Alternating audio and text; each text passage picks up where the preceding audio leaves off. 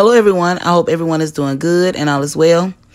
Today's chat is going to be a very controversial one, but I'm not a biased person, so we're still going to discuss it. You know, I got to drop my disclaimer before we begin. My Haitian brothers and sisters, I'm only reporting the written history. No disrespect or nothing like that, and I don't want no smoke, so please don't come for me. But anyway, today's chat is going to be about the Haitian massacre that occurred in 1804. Now, the massacre was said to have been carried out against the native French people and French Creoles in Haiti. And the massacre took place from January of 1804 until April 22nd of 1804. Now, according to the reports, the massacre it, record, it resulted in the death of three to five thousand white men, women, and children.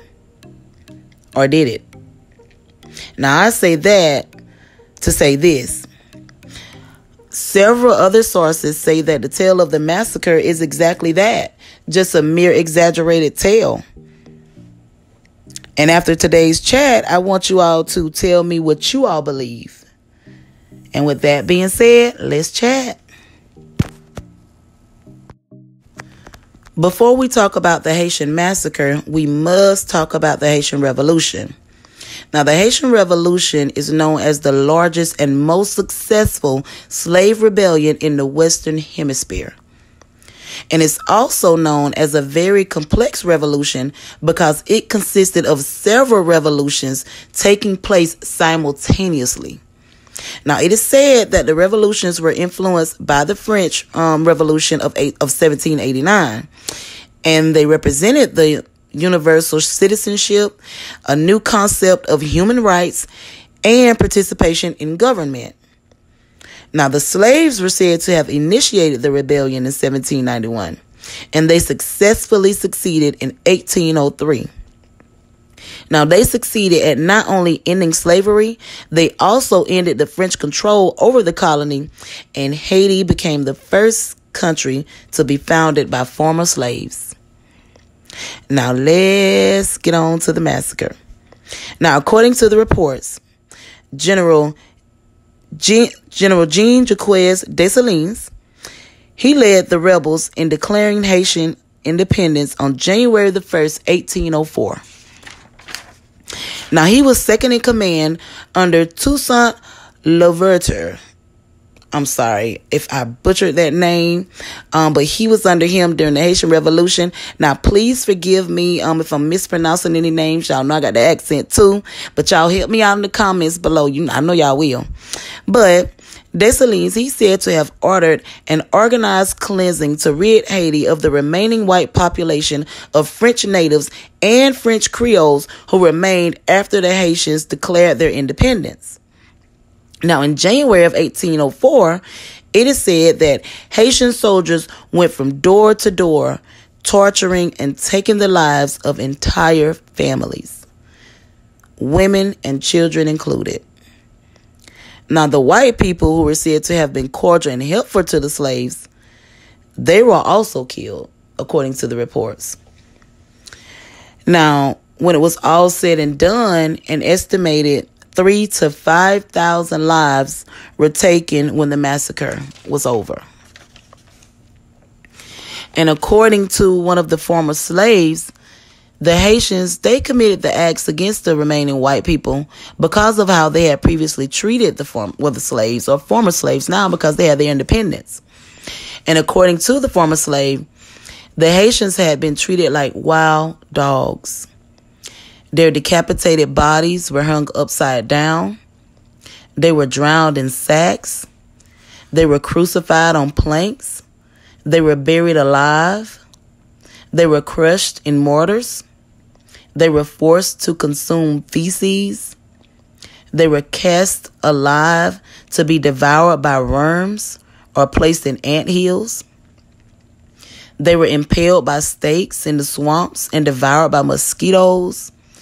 They had boiling hot cauldrons of cane syrup thrown on them. The men and women were put in barrels of spikes and rolled down mountainsides into the abyss. And if all of that wasn't already horrible enough, the ones who actually did survive the torture, they were finished off with bayonets. Now, it's very sad and heartbreaking what happened. I mean, the massacre included, well, that's if a massacre took place. Now, according to some reports, there was no such thing as a Haitian massacre. And the tale of the Haitian massacre is just that a mere exaggerated tale. Now, according to those reports, when the French evacuated Haiti in late 1803, some of the French soldiers refused to accept defeat. And a small group of the troops, they began threatening an invasion to annihilate the black population. Now, Dessalines, he was said to have gotten wind of their plans. And now remember, he's the one who led the rebels and was said to have ordered the cleansing or the massacre.